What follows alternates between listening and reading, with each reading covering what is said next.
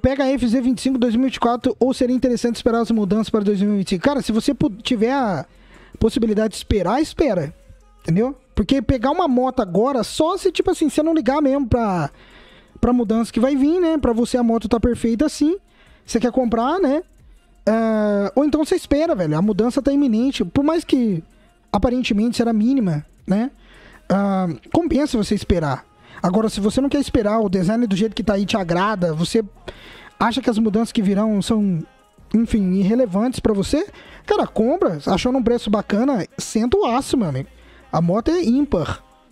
Só pra pegar aqui minha primeira moto, estou analisando pegar a FZ25. O que acha dela como primeira moto? Cara, a FZ25 como primeira moto é sensacional, velho. É um motor confiável. É um motor, assim, o um Matos além das motos. Isso aí você pode ter certeza. É o Matos além das motos. O motor dura, meu amigo. Dura. Você só tem que tomar um cuidado com os cuidados. Né? Tem que tomar cuidado com os cuidados, é bom, né? Você tem que tomar cuidado, assim, é... para manter a moto em dia entendeu?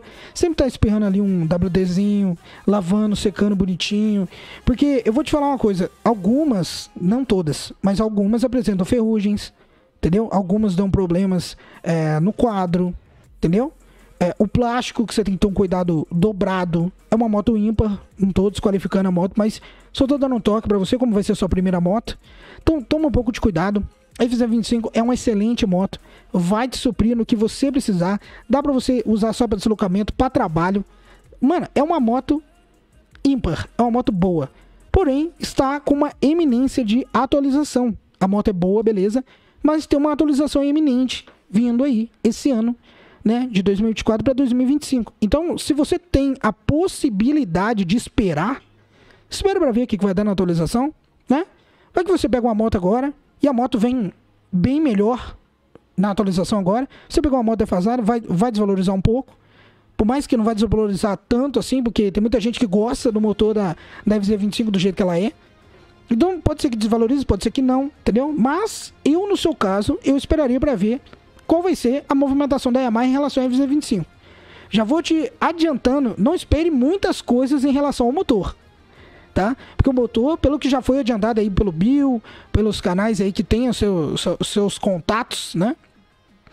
O motor não vai mudar é, grandes coisas, né? Ele vai ter ali, né? Ele vai continuar algum motor 250 cilindradas. Então a gente não sabe se vai ganhar potência ou se a Yamaha vai enforcar ainda mais o motor. Mas em questão do facelift, parece que vai vir um facelift e vai ser um facelift decente. Então o que eu digo para todo mundo, se você pode esperar, espere. Se você não pode, quer comprar, compre, entendeu? É uma moto sem sombra de dúvidas, impecável, vai te suprir muito bem. É que nem eu disse, ela é boa para deslocamento, é boa para trabalho, é boa tudo, meu amigo. Viagem, é uma boa, ela é uma excelente moto. E ela é segura, né? Tem ABSzão. Sem contar que tem o design que, porra, na moral, né? O design é muito bom. Eu gosto muito do design da FZ25, eu, é, me agrada bastante. Por mais que algumas pessoas falem que aquele, aquele é, que é bloco ótico da FZ25 não agrade tanto assim, mas me agrada demais. O bloco ótico da FZ25 me agrada. E, e, é uma moto muito boa, velho. É uma moto muito boa. Um motor, você acha peça em qualquer lugar. Não é que nem Honda, né? Que você acha peça na padaria. A peça no açougue, né? Mas você acha peça em qualquer lugar, meu amigo.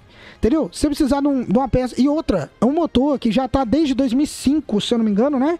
Desde 2005, chat. O motor da FZ25 tá desde 2025 aí, né? 2025 é bom, desde 2005. Porra, então assim, velho, você vai pegar uma moto muito boa. Mas tudo depende também, né? Se você pode esperar pela atualização ou o preço que você vai encontrar. Se você achar um preço condizente, que seja bom para você, entendeu? Pesquise, não cai na falácia de vendedor, não. O vendedor ele quer ali te empurrar a moto, ganhar a comissãozinha dele e dane-se. Tem alguma coisa de errado com isso, Mário? Não, o vendedor tá vendendo peixe, tá ganhando peixe dele, né? Tá ganhando ali o dinheiro, o sustento. O que não pode é você cair no, no papinho. Você tem que ser o esperto da jogada. Então analisa a moto, vê o, o valor que você consegue achar nela. Não cai em qualquer venda que você vai achar aí. Não pague, pelo amor de Deus. Eu não tô querendo te induzir a nada. Mas essa moto não vale no máximo 25 mil. Você entendeu? Aí você 25, 6 mil. Na verdade, ela já não vale o PPS, né? Nenhuma das motos vale o que está sendo cobrado. Aqui. Vamos entrar em. Vamos entrar num consenso aqui, né? Nenhuma moto vale o que está sendo cobrado aí. Mas já que já tá tudo ali na. Tá tudo na casa do chapéu mesmo, Pelo amor de Deus, não caia no joguinho dos caras e pague muito caro nessa moto. Não pague. Não que. Né? É, é, bem complexo falar isso, mas, cara, não cai no chaveco desses caras, eles só quer vender. Eles vão ali, ó. Hum? Entendeu? Aí, ó, Silva, ó. Motor da 250 vai mudar de 22 cavalos para 20. para atender o, o Promote, confia. Pois é.